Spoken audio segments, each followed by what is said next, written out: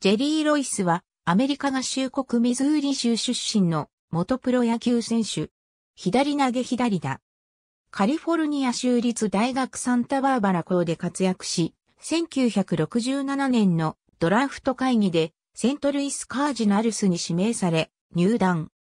1969年9月27日に先発でメジャー初登板を果たし、7回を2安打、無失点に抑えて勝利投手。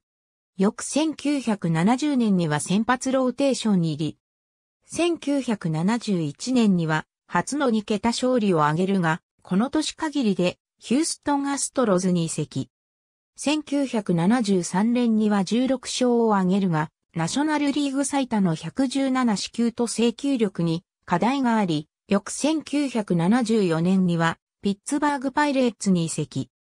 1973年から1977年にかけて16勝、16勝、18勝、14勝、10勝と活躍するが、1978年に3勝に終わると、ロサンゼルスドジャースに移籍。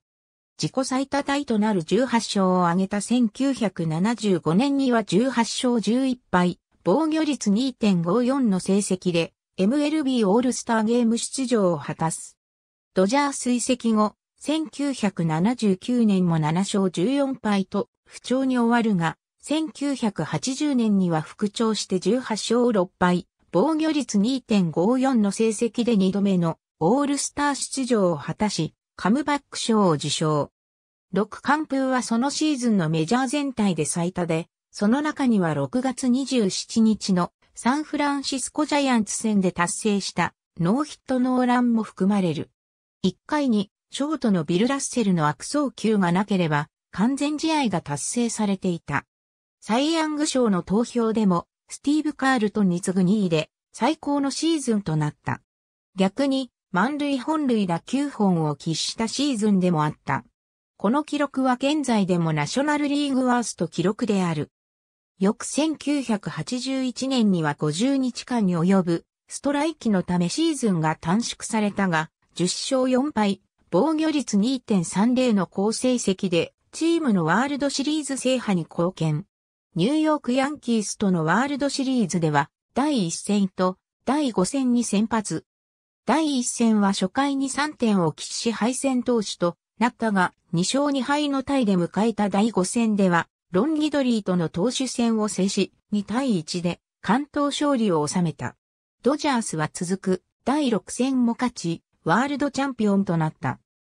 翌1982年は18勝、1983年も12勝を挙げるが、1984年以後は故障勝ちとなり、14勝を挙げて地区優勝に貢献した1985年を除いて目立った活躍はなく、1987年途中にシンシナティレッツ、さらにカリフォルニアエンゼルスに移籍。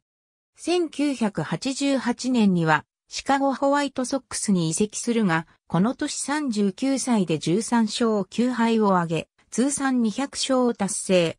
1989年はシーズン途中にミルウォーキーブルワーズに移籍し、両チーム合計で9勝。ブルワーズを解雇となり、1990年にはフルスパイレーツと契約するが、わずか4試合に登板したのみでその年限りで現役を引退。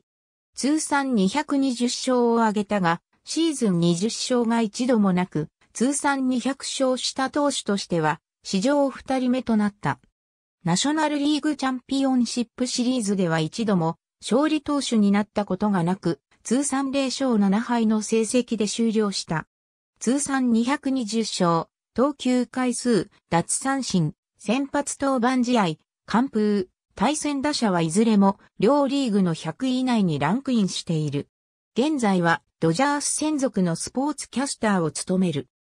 実動22シーズン登板628試合220勝191敗11、西部防御率3.64関東127、完封39投球回数3669回、2、3被安打3734失点1700、実績点1483非本塁打245よし9 59よし9127奪三振1907勝率535冒頭107ボーク23年度別成績はこちらを参照。ありがとうございます。